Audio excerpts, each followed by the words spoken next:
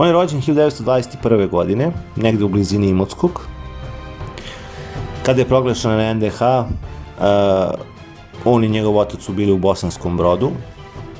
Otac je odmah imenovan za predsjednika opštine Bosanski brod i na toj dužnosti se kaže da je počinio dosta zločina.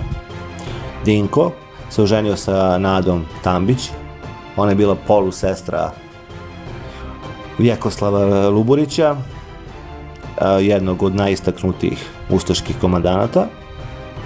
I zahvaljujući rodbinskim vezama sa Luburićem, on je vrlo brzo napredovao u ustaškoj hjerarhiji.